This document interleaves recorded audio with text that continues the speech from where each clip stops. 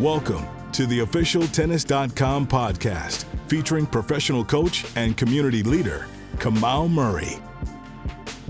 Welcome to the Tennis.com podcast. I am your host, Kamau Murray, and we are here with a coaching legend, honestly, a guy that has coached probably more big names on tour than anybody. Uh, and that comes with its uh, gravitas, but it also comes with its challenges. But well known, well respected, a great player in his own right that a lot of people may not know. Uh, we got Michael Joyce on the show. Mike, thanks for coming on. Uh, pleasure, Kamau. Looking forward to it. So, Mike, when I first came on tour, I knew you as Maria Sharapova's coach. Right. Um, I didn't know Mike as the junior Wimbledon champion. I didn't know the, you know, fourth round of Wimby in 95 you know, tell me about your own playing career because I think sometimes when you become a coach of like a big name player, how you got there gets lost. So yes. tell me how yeah. you got started in tennis, where you grew up, how you got to a junior slam, because that's no easy feat. Yes. Well, first of all, I should hire as my agent because I actually lost in the finals. So when I, but I did. I lost to Thomas Enqvist, but it was a, it was a good result, uh, no doubt. Uh, it's funny. I grew up in LA, um, and uh, I I always did pretty well. My in the juniors, my dad played tennis. Uh, he he loved tennis, and so he got me into it pretty early.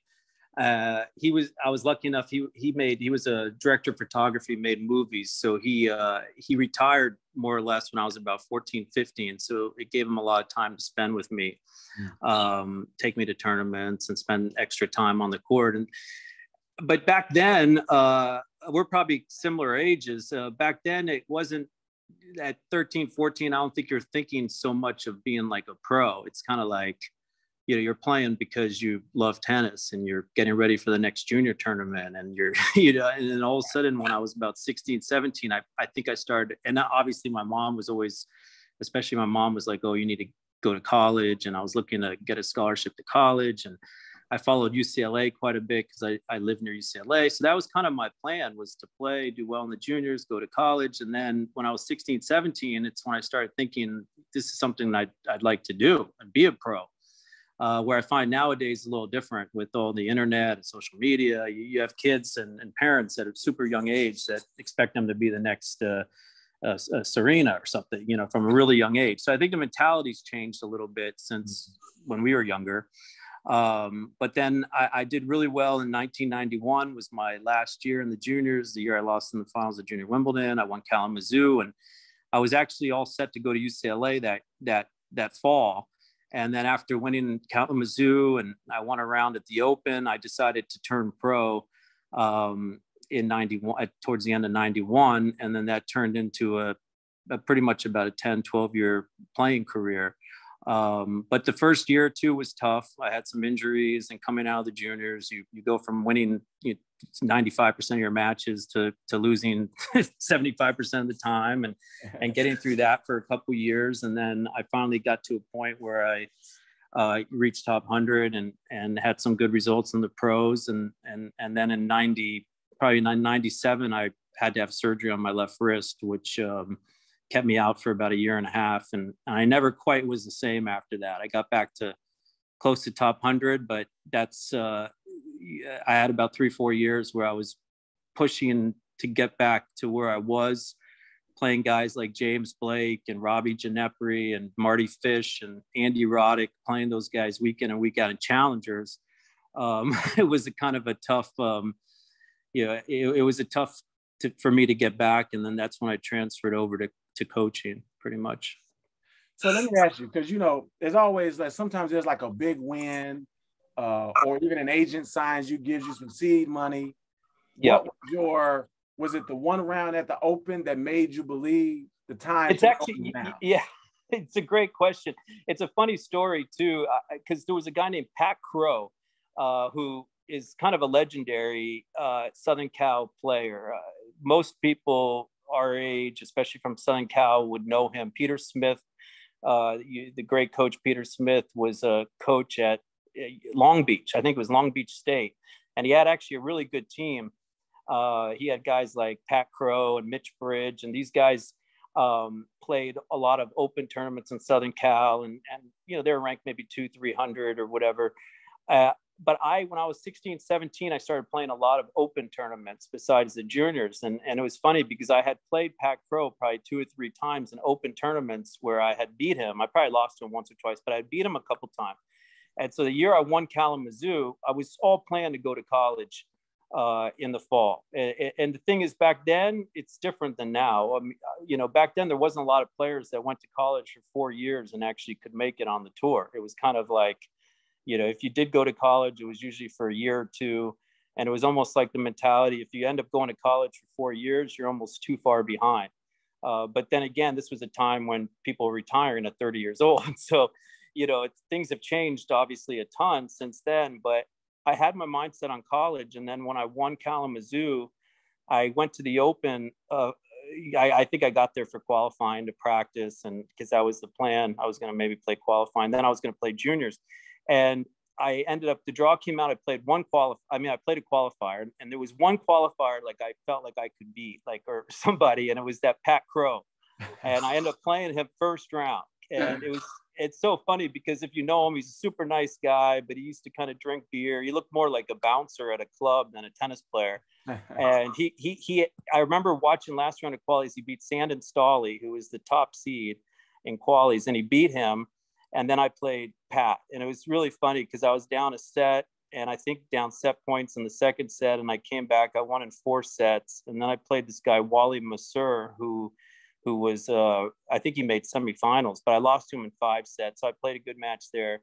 But I think the biggest thing for me that I decided to turn pro was I was able to sign partly probably from my junior results, but also winning the round. And I was able to sign pretty good contracts. Uh, not, not great, but maybe like a hundred grand a year, or whatever. But that was going to be used for my pro career. And I think my parents and I were worried that if I had gone to college for a year or two, I could lose that opportunity. Uh, my parents were pretty well off. They weren't super wealthy, but they had enough money to get good coaching for me and traveling, and they wanted me to travel to coach. So it kind of made sense at the time for my first two, three years on the pro tour. Like I needed to kind of jump on that uh, at the time. And, um, you know, in hindsight, I always promised my mom I'd go back to college, but I never did. so um, I, I started to play on the tour and then you, you 10 12 years go by and and then i was like oh yeah remember i told you i was going to go back to college? I don't think it's going to happen now. But, um, you know but it was a little bit of a different time back then but definitely winning kalamazoo probably wimbledon and then obviously winning the round at the open uh, back then i think for second round prize money was eight grand uh, which i thought was a lot at the time. Uh, i remember first round was five grand because i remember being pumped. I won Kalamazoo. I was going to get five grand. And so I got eight grand. And then, um, yeah, I had the decent contract. So that's kind of what led into me going on tour. Yeah, I always say in tennis, industry is a huge indicator on your chances of making. They really don't Absolutely. miss. You know, Absolutely. like Nike, Wilson, you know, they really don't miss, right? If they right. if they give you a check, you got a shot to at least be in top 150 making absolutely. well as, as, you know i mean this is the biggest thing i tell I, I, especially the younger players or the transitional type players is if you're and you know better than anybody being a coach as well i mean at those ages you're still developing so yeah at 17 18 19 i mean even now the, the younger boys 22 23 they're you're still developing as a player. So if you're on the road playing 25 30 weeks out of the year uh, let's say, and, and, and you're losing early, which is going to happen a lot. I mean, you need a coach that's going to help you work on the road and keep improving. Right. And I think that's something that even back then, the fact that I was able to get that money to pay for a coach and to have somebody travel with me full time. Um, you know, now obviously you see the top players with full teams and stuff, but I think to send a kid out there at 18, 19, and they're gone 25, 30 weeks out of the year and they're traveling by themselves, um, it's tough to to ha- do the work that you need to do to, to keep improving unless you're unbelievably self-disciplined and you have access to uh, you know what uh, you know and so having the luxury of having somebody with you um, is huge especially at that age because you, you can improve so much on the road not not just at home. So you talk about improving on the road and having a team um, you know, when I first came on tour as a coach, I worked with Taylor Townsend. Me and Zina Garrison worked together on it, and then I jumped right into you know working with Sloane Stephens, right. and that's sort of not like a, a, a very common thing. You know, normally you coach somebody, they train 15, 25, yeah. right? Uh, then maybe you get somebody that's top 150, maybe get somebody that's top 100, whatever like that. Um, but you had a very similar thing where you went from playing to coaching the face of women's tennis. Right. Yes. How did that happen? And were well, you ready was, for it? Looking back on it, were you ready? Yeah, you know, I it was interesting because actually it was kind of in a way my second job. Uh, my first girl that I coached right off the tour was Alexandra Stevenson, who obviously we know uh, pretty well. Um, and I actually chose coaching her over Maria so that showed you kind of how much I knew. Uh, but it was kind of, I kind of stumbled across it a little bit. Um, when I was maybe 29, 30 years old, my mother um, was diagnosed with ovarian cancer and, and uh, she was able to live for like four or five years with it. But it was right at the time where I was kind of, where we, a lot of pros, we all go through. I was about 28, 29, and I was kind of, I was still playing. I was still on tour, but I was spending majority of my time at home. I didn't have any money really, um, not much money. So I was doing a lot of uh, coach, coaching and hitting because I was still in good shape and I still played well at home in LA. And so there was a period of time for a few months where I was actually hitting with Alexandra for two hours a day, and I was hitting with Maria for two hours a day. And Maria was like 16, Alexandra was like 19 and it was kind of funny because i used to always think like why don't they play together? But they didn't did, they never wanted to play together. I mean we, we know women right? Right so it, it was more alexandra didn't really want to play with maria uh, more than the other way at the time but it was like you know, so I'm sitting here going, okay, I'll take my 400 bucks and just keep hitting with them. and so right, right. I developed a good relationship with both of them, even though I wasn't really like their primary coach. I mean, Alexandra was working with Pete Fischer, and then Maria was usually when I was hitting with her, she was in LA taking lessons with Lansdorp. Uh, but obviously, I got to know them both pretty well. And so it was actually kind of funny because I went to Sweden and I kind of was done with playing more or less. And I was maybe still ranked about 150 or something, but I was starting to get into like the coaching mentality more. And then I, I went over to Sweden. I played this team tennis with Michael Russell uh, for like three months and, uh, or three weeks, three weeks. And I got these emails while I was there from Alexandra's mom and from Maria's, from Max and stuff. All basically both asked me go down to Australia. Uh, and so I had a choice to go with Maria or Alexandra. I chose Alexandra. And because I figured at the time that she was better, I actually thought she was better because I was playing with both of them. And I figured I wasn't going to do it very long.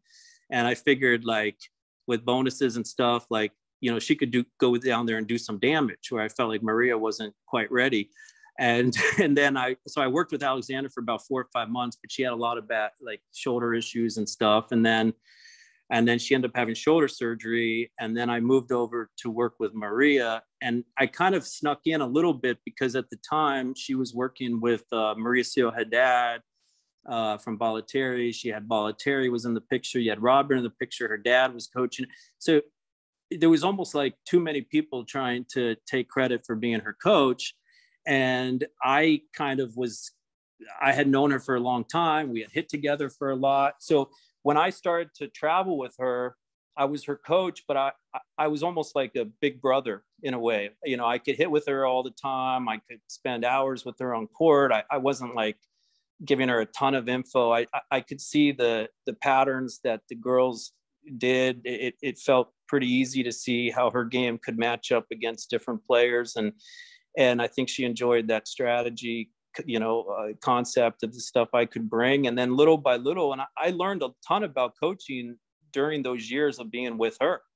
And so that was kind of an education for both of us. And but i helped her in a way i mean obviously she had the basis of her game at that point when she was 17 um, 16 17 but i was able to help her take more balls out of the air move forward you know just typical stuff that i felt like her game things from my game and from the men's game could transfer a little bit to her and, and that made a big difference and, and then that's how that's kind of how i got into coaching maria which then put me on the women's coach category right that, you know, it's funny you mentioned the women's coach because I've only coached women. And Right. So when I look at your roster, you only coach women. It's kind of like once you coach a woman, it's like you're you're the women's coach. Well, that's what that's what happened to me exactly because because at the time too, when I was hitting with Alexandra and Maria, I was helping out like Kevin Kim. There was a guy named Robert Yim. I was helping out some of these guys that I was actually kind of playing against, but I was also helping them transition to be a pro. So I had a lot going, but then obviously Maria's the one that kind of like you said, became so famous, took off. So then I was known as Maria's coach. And then my playing days, my every men's coaching, that all was kind of thrown out the window. I was listening Maria's coach. Right. So, so Yeah. let me ask you this, because you know, you think about like big name personality. You talk about how like the, by the time you get with the player, they can hit the ball. They, it's sort of know who they are as a player, right? And you can kind of reach, Right. create some new habits. They kind of have their practice routine. And you mentioned that you said you didn't say much. I've been on the court several times and had a player say, "You're talking too much. right. Just pick up the ball. How Right. often did you get that? Well, it, it was interesting with Maria because it was also interesting because I still at 29 years old was playing really well. So it was funny because I, I was actually using those hits and practices to kind of I was playing a lot of money tournaments and and I actually was winning a like oh high like I was still kind of ha- so so I could play Maria and beat her like one and one Right. and you know and so like i would do things or see things that i think you know she could do a little better or that there was something that was kind of she was doing that i could could see like i could read her shots or whatever and then the fact that i could beat her like that um made her almost listen more in a way i felt like because all sudden i'd do something and she'd be like oh how'd you do that or how you know and so it was kind of like that's it was more like i was kind of teaching and helping her uh, it, through me at the time, which obviously I couldn't do now. But at the time, it was almost like she was gaining experience because everything she was going through, I had been through as a player, which I think gave her also a lot of confidence in in what you, I was telling her. And then, you know, her dad obviously was spent so much time with her. I mean, she'd take lessons from Robert, or even when she was at Bollettieri, her dad would, you know, speed or extra balls or work on her serve. So there was always that he was more of like a technical guy in a way. And, and, and in some cases i felt like he was too technical. So you know maria and i would try to find ways to kind of laugh about or kind of blow that out. I mean we'd go for two months and not see him at all training and then he'd show up at a tournament. I mean yuri was great don't get me wrong. I mean there would be no maria if it wasn't for yuri. But you know we wouldn't see him for two months and all of a sudden he'd show up at a tournament and he'd start like looking at her technique or something and i'd be like okay we, we're gonna and then maria so was i was doing a lot of damage not i don't want to say damage but i was doing a lot of also control between you know a father a daughter Eh, obviously she was starting to become really famous so i was doing a lot of like the damage control of making things as as smooth as possible for maria always being able to keep improving keep working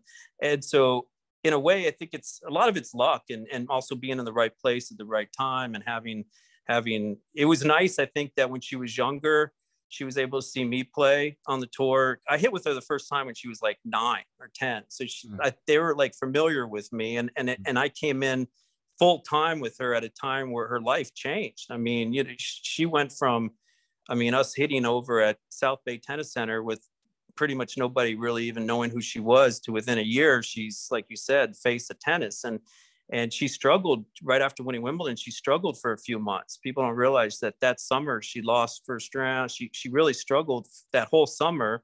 And then we kind of got back on track in the fall and she ended up winning the championships in la and then she got used to kind of that that life but but i i think the best she was playing was 19 20 years old was when she won australian open and and i think that's when like her game really everything came together you know and then obviously she had the shoulder injuries and stuff but it was it was it was a fun seven years there's no doubt but it, it it was nice at that time period i think even like with training if she took a run we didn't have a huge team around us you know nowadays the players have huge teams but back then we had first two years her dad used to go to the tournaments and then we had this guy juan who was like a physio she had a trainer but i would do he didn't travel with us so i used to do the the training with her too which i was young enough i could take a run with her do stuff. So i did almost everything with her which i think helped push her as well Um, but again, at 30 years old, it's a little easier now. Mm-hmm. Uh, and then after a couple years, her dad started to not travel as much. And then the last three, four years, it was pretty much just her, me, and the physio. That was it. And nowadays, the I was actually kind of surprised about four or five years after we stopped working, as her team started to grow. I thought it was kind of interesting because that's not really she never really wanted like a ton of people around her. So I think some of the, you know, outside voices started to I mean, you know how it is. Uh, when she was older, all of a sudden she had like eight people around her, which was kind of funny for me because that was never really how she was mm-hmm. growing up. She wanted to keep it small.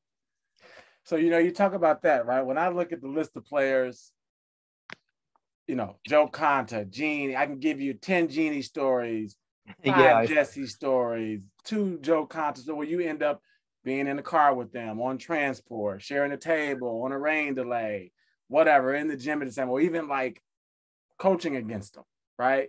Right. Um, Vika, same thing, but not one Maria story. I okay. feel like even compared to Serena, right, right. Venus, Maria had this sort of mystique about her and separation, right, right from the other players on tour and anybody else on tour. Um, was that intentional, or was that yeah. just all in everybody else's own head?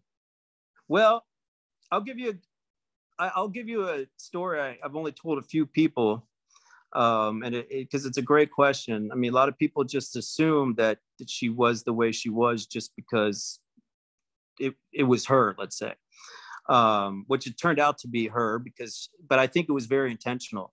And I don't think it was something like she just woke up one day and was like, okay, I'm just going to kind of separate myself from from all the other people.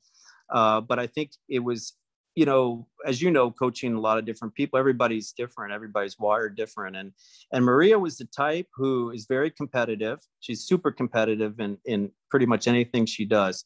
Uh, tennis, when it comes to other sports and stuff, tennis, she's was good at. You know, she was good at tennis, obviously. She wasn't great at other things like basketball, little things that we would play or do that she wasn't necessarily that great at.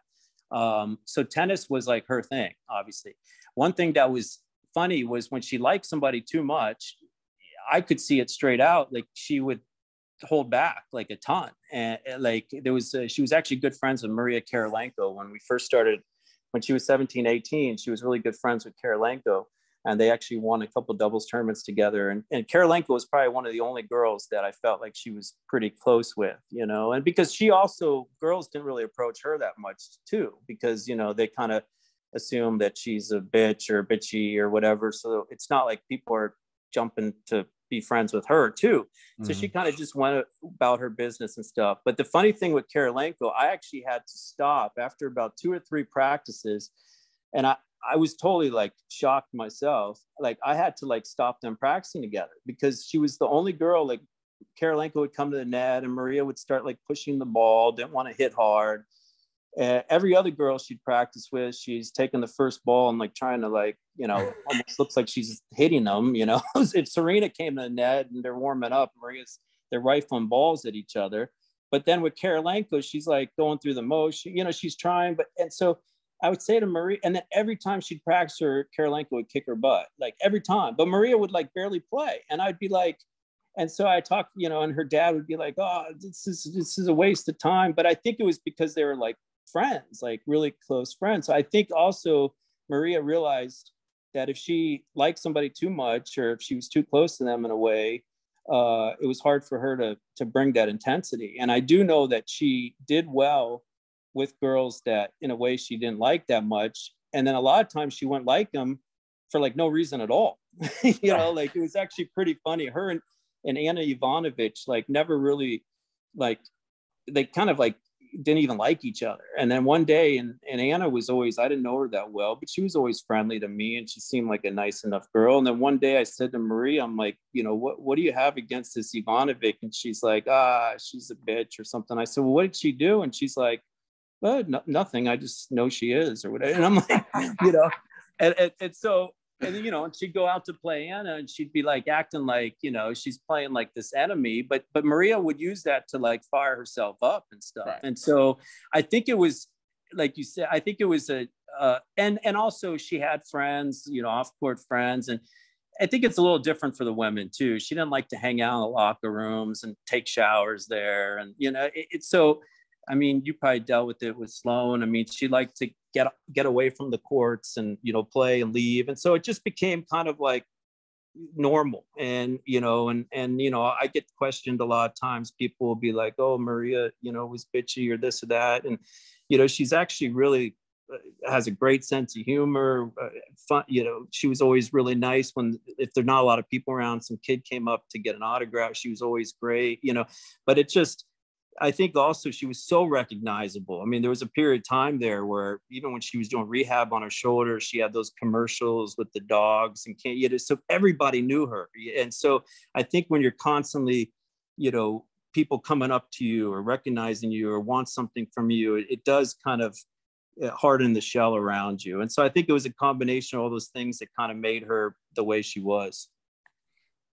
So you talk about, I remember when um on Sloane, you know, number one, you talk about getting better travel, right, on the road. And I feel like when you're managing a personality, right, or coaching a personality like that, who has a brand off the court, even Vika, right? Right. They've got obligations off the court. And it is, it does become challenging to improve between events, right? Because yeah. everybody's planning the other business between events, sure. right? Right. And you got to right. respect that because that's that's, like money. Pays the bills, right? You know, you know what I mean? So how much of a challenge with it? and the reason why I say is when, when Sloane won the US Open in 2017, uh, a commentator who's now a friend of mine said, well, Kamau really didn't coach her to the US Open title. He just managed the process. right. right? Yeah. And I was like, yeah, well, I think that year the Yankees like won the pennant. I was like, yeah, well, Joe Torre is a manager as well. Exactly. You know I mean? It was like that that's how I just said, yeah, I, that's how I processed it, right? Yeah.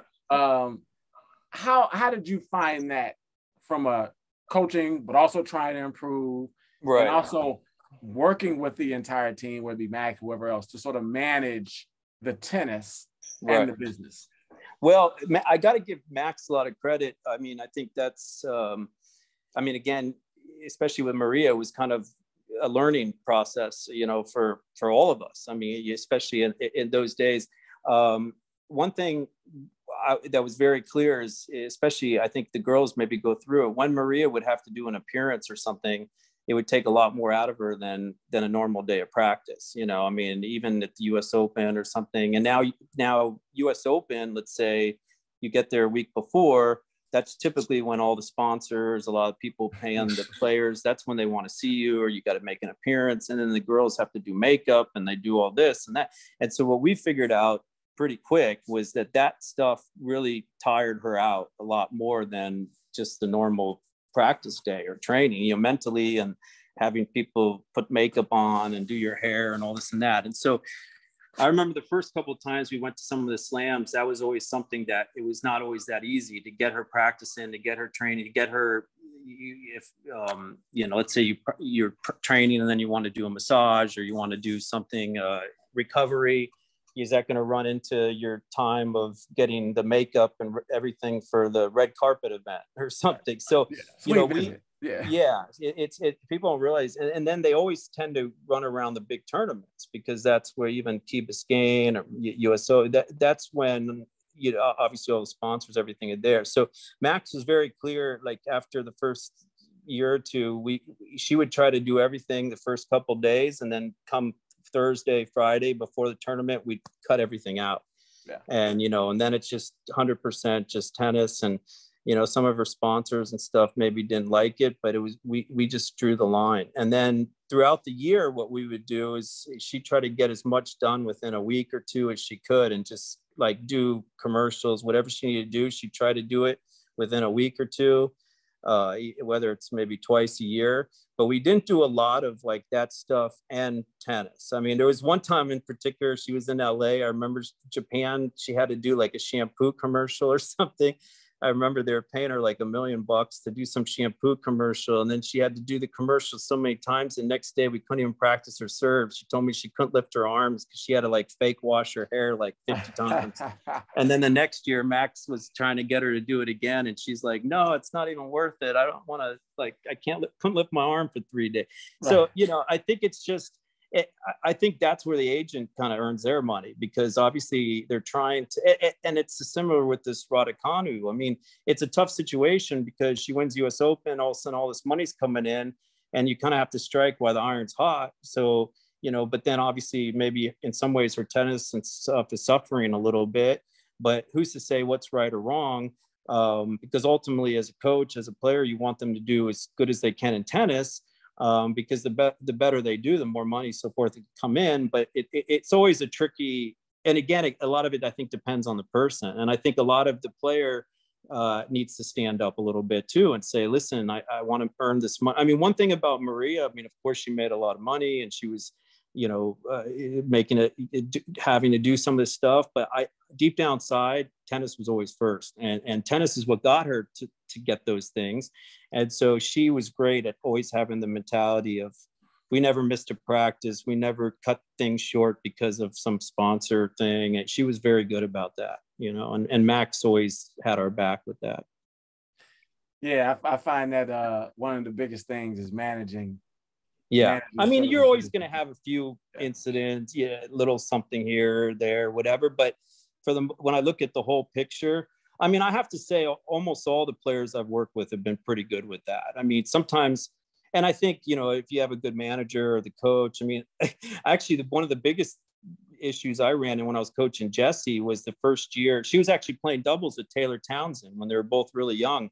They got a wild card at the Open Taylor was 16, Jesse was 17, and they both won a round in qualies. And then they signed up for a wild card. They actually got yeah, they got a wild card in the Open. They made third round the doubles, but it, I remember the WTA was having both of them do like 8,000 things a day.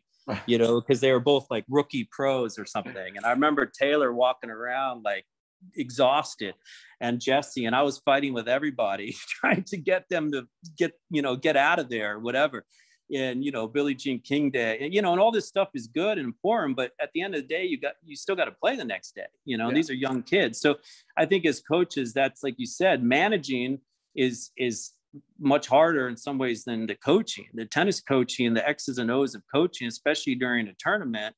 You know, little things here, little there. Obviously, we give them strategy, different stuff, but the work has to be done by the time the tournament comes. And now you're just trying to manage and and and, and help take pressure.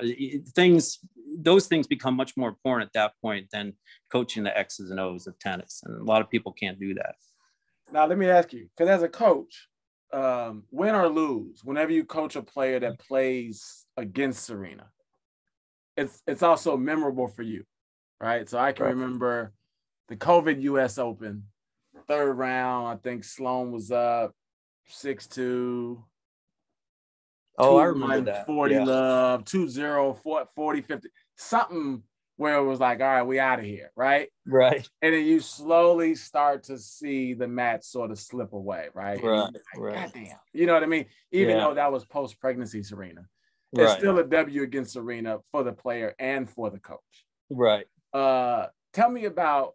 Well, did you ever have? First of all, I'm sure you had a couple chances in seven years to coach some of those Maria Serena battles. Tell me yeah. about one of the most memorable ones. Well, there's one that still like bothers me. It's crazy because um and, it, and they showed it not that long ago on Tennis Channel. So it, the the year so when Maria beat Serena in the finals in Wimbledon, uh, Serena was a nervous wreck. I mean, some you know Maria played well, but Serena didn't start playing that it didn't play well. I think she probably felt a lot of pressure playing Maria. She was young, whatever. But Serena played a bad match and Maria won it. And then they played in the championships in the finals that same year. And Serena was actually up 4-0 in the third, but had a pulled stomach muscle. And then Maria came back and won 6-4 in the third. And uh, but it was a weird match because they were in the finals, and then like Serena on the second set, like started serving like half speed, so you could tell something was wrong with her. But then it's like Maria won the second set, and then a third, she just Serena went four games and hit like winners all over the place, but was still serving like half speed. And then and then Maria won the last six games. So it was a weird match. But the one match that kills me is a, a few months after that, they played an Australian Open and Maria had three or four match points. And Serena won, I think it was like 10 8 in the third. And it was an unbelievable match. Like they both played well. And I really thought Maria should have won the match. I think on match point, Serena hit like a shank that went 20 feet up in the air and landed on the baseline, whatever. Uh, but it was a, it was a great match. The Serena won, and then the final Serena beat Lindsay. But I feel like Maria w- would have won that match. She would have won. I, I, I think she would have won another Grand Slam. And then they didn't play, believe it or not, for a really long time because I think right after that, Serena had some of her health issues and stuff. And then about two or three years later, they played in Charleston. And I remember Maria was number one, and Serena was coming back, and they played in the quarterfinals and Serena beat Maria in a tight three set match, like a really good match. And then, because uh, it was like Maria's 21st birthday or something, because we went to New York, I think, uh, for her birthday right after. And then, then they didn't play again for like a while. Uh, oh, they, and then there was another match where they played in the finals of Australian Open. And this was amazing because Serena looked terrible the whole tournament. And Maria was playing lights out. It was maybe a year later and Maria beat Clijsters in the semis, like two and two. And Serena had quarters. She was down match point against Peer. I think Shahar Peer. Like she barely got through Peer. And then in the semi, she was playing Vaidisova. And I remember Max asking me, who would you rather Maria play, Serena or Vaidisova? Because Vaidisova was just coming up. And I remember saying Serena because I said Serena look, is not playing well. She was a little overweight. She couldn't move. And I and Serena ended up winning just because of her experience. And then they played in the finals and come out. I've never seen a, a woman player play. Serena just played unreal, just blew her off the court. And I did not see that one coming. Like honestly, like she just served unreal. Hit up, she beat. I think they closed the roof and she beat Maria like two and one, and it was just mm. a beat down. And and there was nothing Maria could really do.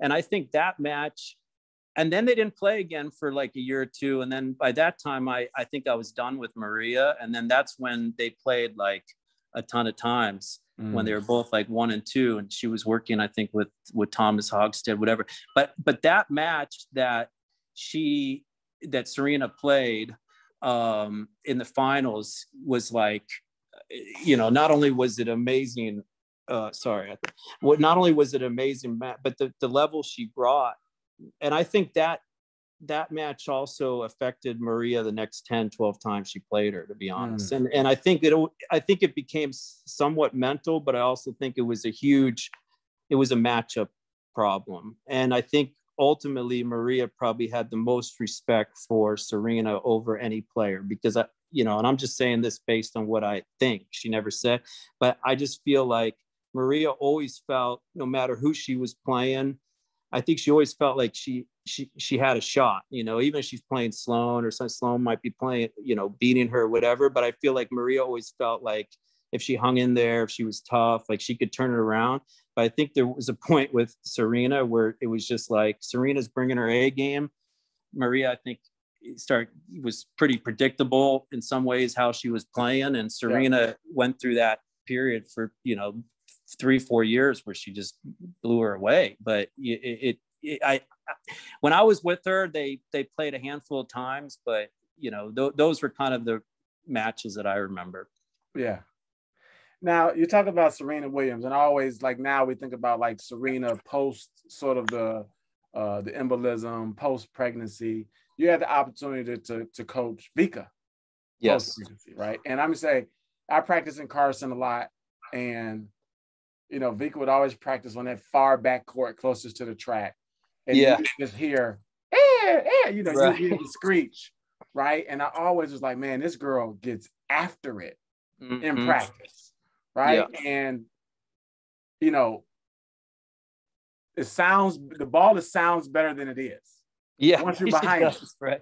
You know what I mean? Like the ball is actually yeah. really light and it really ain't going anywhere. You right. know what I mean? yeah. But but the but the the level, like her body language and intensity, yeah, really I'm like, damn, that that's a pro practice, right? Where some other players practice yeah. differently, a little more casual, a little more relaxed, a little more loose. So I always, you know, was was impressed by yeah, she bring it. Yeah. Right. Um, but it's interesting as coaches how we get these girls uh, and we're coaching them. You know, obviously they're managing their tennis career, but you get them at very interesting parts of their life, right? right? Where they're dating, they start yeah. to get engaged, they start yeah. to fall in love. They're, you know, they're starting yeah. to like, you know, just all these other things, but all the insecurity, all the balancing, maybe trying to do school online, all these interesting things. So right. tell me what that was like coaching. Vika post pregnancy.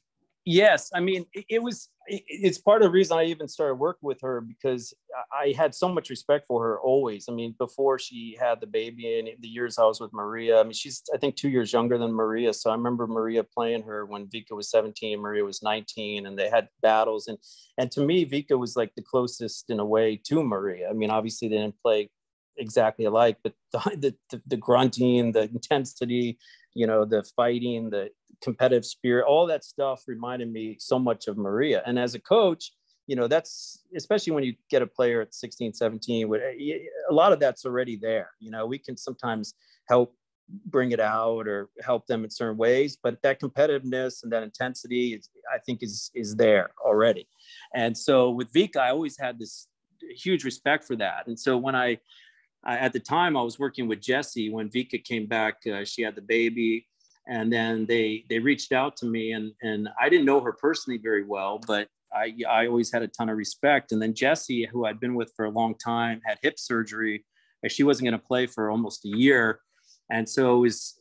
I really felt like you know Vika could get back, you know, to number one or whatever. And so I did a lot of research too. I, I looked up like when women have babies, like you know, can they come back and different sports? And then I found out that a lot of them actually are stronger after, and um, you know, a lot of different things that I found out. And so I spent the first two, three months with Vika, just kind of getting her back in shape, getting her back, her body in shape, uh, getting back to the competitiveness.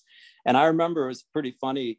I went to Belarus and I was training there for like three weeks, and we were just so she was literally just coming back. So we were hitting, I was hitting with we doing drills and stuff. And then after like two three weeks, I, I got a couple boys that were there. To, and then one day I was like, well, why don't you guys just play some points? And there was two boys playing against Vika. They're two points each, and and Vika was like fist pumping. It was the funniest thing. Like literally like two, three points into it, Vika's like fist pumping and, and, stuff. And I'm sitting here and I remember telling her, you know, her, some people around her at the time, I'm like, there's no way we can keep this going for another two or three months. Like she has to play something like, and then I was kind of shooting for her to have a really good summer. Like the hard court summer is usually where she does best and probably her best surface.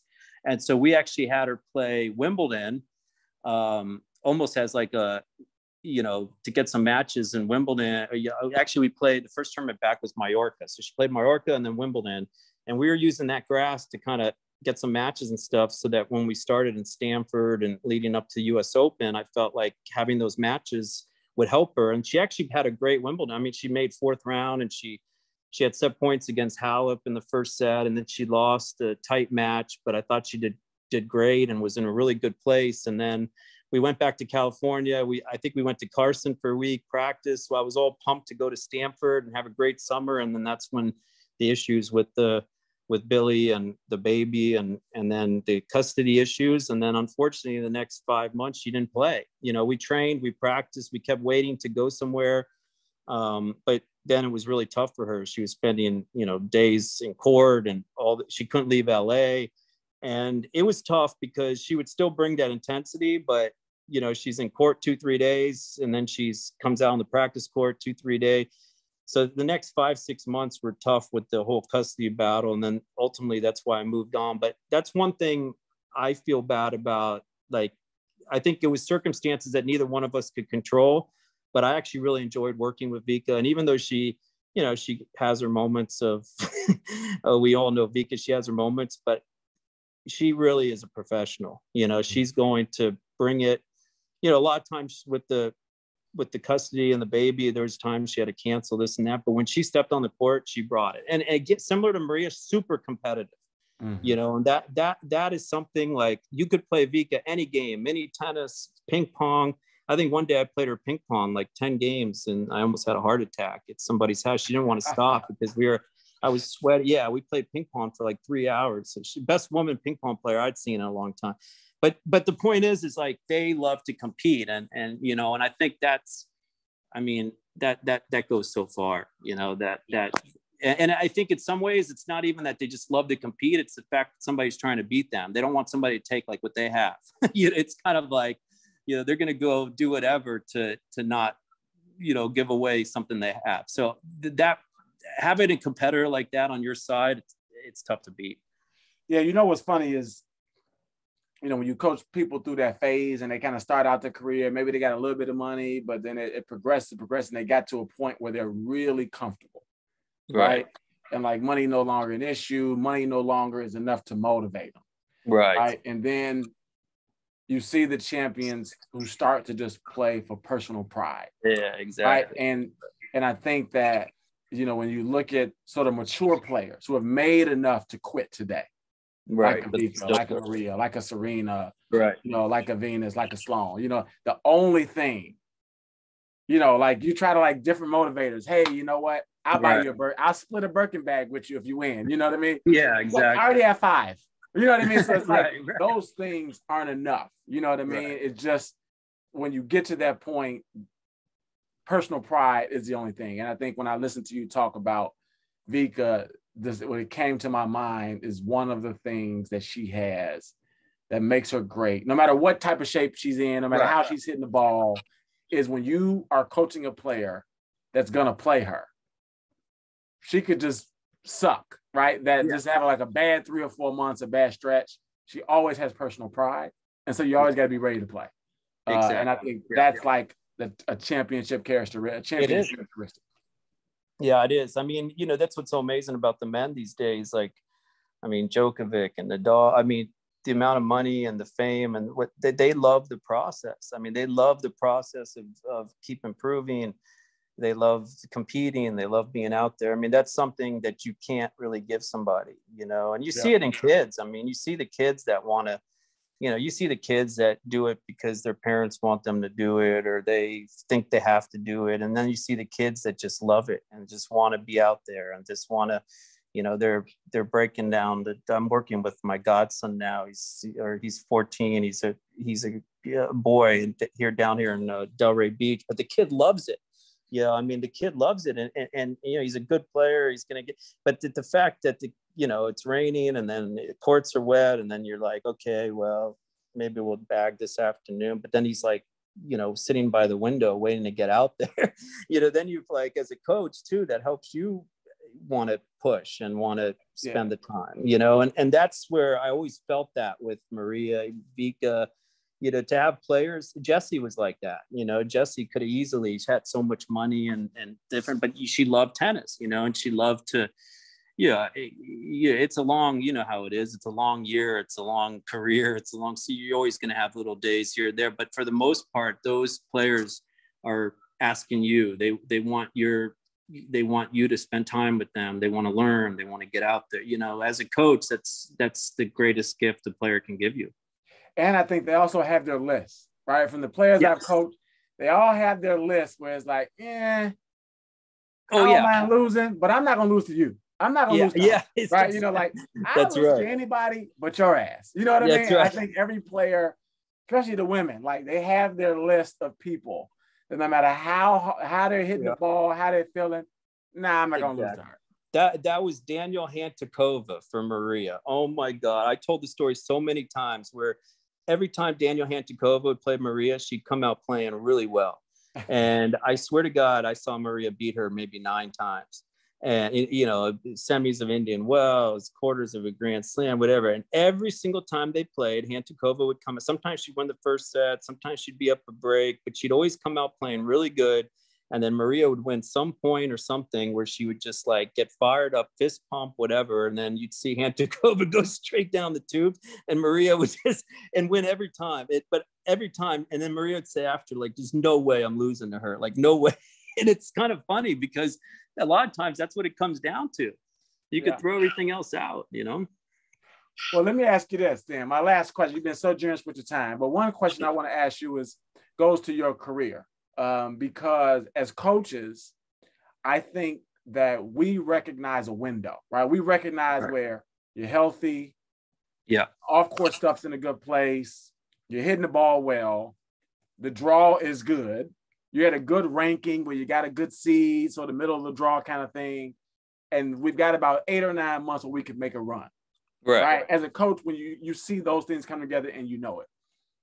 But when you were playing and you look at that 95, 96 kind of time frame where you made fourth round of Wimbledon, uh, third round of Indian Wells, quarters of Miami, what sort of was going on then that and when I say fourth round of Wimbledon, right? Most people are like, oh, fourth round of Wimbledon. But let me tell you, fourth round of a slam is hard as hell. Right? Right. right. Quarters of a one thousand is hard as hell. And so when I look at those, I'm not a guy that like takes those for granted. You know, even having coached right. Grand Slam champion, a finalist at French Open, won Miami, that's hard to do, right? right? So what went right? Because as a coach, you can kind of see when things are lining up. But as a, what do you think went right that time? Yeah, well, I I think I know what went right, and it's probably similar. I just thought of this just now while you were mentioning that. It's probably similar to Sloane when she won the Open in some ways. I, people like what was crazy was I actually in the fall, I mean, in the spring, so in 95 in the spring, I remember I went to Asia and I was ranked about 120 or something. And then I was pushing to get, I was getting close to like top 100. And um, I remember I went to Asia and I got, I played Japan Open. So I ended up getting mono, mononucleosis. And I was trying to get enough points to get into Wimbledon. That was like my goal, you know, get, get to top 105 or whatever it was. And I remember I flew from Seoul, Korea to Malta to play like this 75 challenger.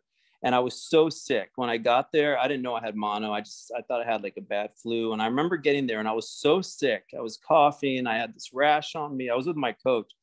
And I remember being so sick. And I, I figured out if I win one match, like I, I have a good shot at getting in Wimbledon. And I, somehow I won the first round. And then I had to like pull out of the tournament. I went home and I got to like 106 or something. And I remember I flew home and I went to the doctor and then I had mono and I basically was in bed for like a month and really sick and, and so forth. But I did get in Wimbledon. And so my goal was to try to, there was maybe a couple months before the grass and I had done well a couple years before in the juniors. So I like grass court tennis and stuff. But it was interesting because during that period of time of being in bed for like a month and not playing for a couple months, it really made me appreciate like the game again in a way because you know it's easy to get caught up in this like you know you're, you're, chasing points you're traveling you're there everybody's you know it's, it's probably even worse now with social media but everybody thinks you're doing well based on your number ranking you know whatever and and i just missed like the game like playing tennis and being able to go and when you when i first came back from the mono i mean i could only hit for 10 15 minutes uh, you know, without getting tired. And then I remember going over the grass. The doctor gave me the okay to go. And I remember playing the the week before Wimbledon. I played Nottingham qualifying, and I lost this guy Colin Beecher. You probably know him because he's a good coach now out of Britain. But we always joke because he he was he was like 300 or something. And I lost to him. And I remember calling my parents because they were going to come watch because they had never been to Wimbledon. Now I'm main draw. And I remember calling my parents, I'm like, don't come. Like, I'm playing so bad and then I had to play Marc Rosset, who had just won the Olympics. He was seated like number nine, and I saw the draw. You know, Wimbledon they put the draw like a week before, and I remember calling my parents, "Don't come, this is it," and they came anyway.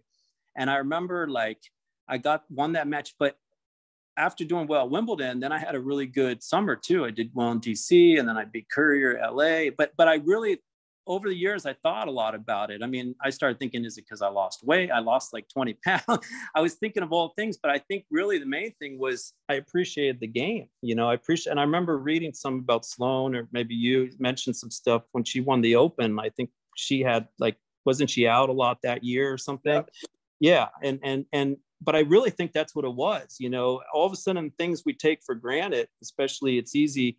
Um, you know, you go on the people don't realize when you're a pro and you're on the road, you, the tennis, they see the tennis on TV or they see the results, but there's so much more goes into it. You know, can, uh, flying, staying in other hotels, being away from your family. There's so much that goes into it. A lot of players don't like that part. And you don't know how somebody's going to like that or react to that. And for me, I, was comfortable in a way. I loved where I lived. I was I got along with my family well. I liked being in LA. I liked. I mean, there's certain things I would have done probably a little bit different looking back on it. But I think that period of time really made me appreciate the fact that this is my life, this is what I chose to do. I get a chance to play a sport for a living and see the world. And I think it changed my whole mentality. And I feel like I rode that for the next couple years. And then obviously when you start thinking that way, you feel a little better, you start having better, it ups the confidence because your results start to get better. And but I really think that was the fact that I didn't think I was going to be able to play Wimbledon or whatever. And, and and that I think helped me get better quicker. And then the fact that I had such a good result and and then it pushed into the summer. I think it it it kind of spring spring rolled me to like better things. And and sometimes that's life, you know. You you have something tough, and and it turns out to actually be a blessing. Mm. Well, man, I, I really appreciate your time. It's been great. Uh, Thank you, buddy. Great stories. Uh, thank you for sharing. You know, a lot of people don't share a lot, but thank you for sharing. Uh, a lot of respect for me. I understand how hard it is. When I look at your player roster, A, it's hard to get the job. Right. B, it's hard to help player. And it's actually a lot of work and a lot of pressure yeah. to take on right. the level of talent that you took on.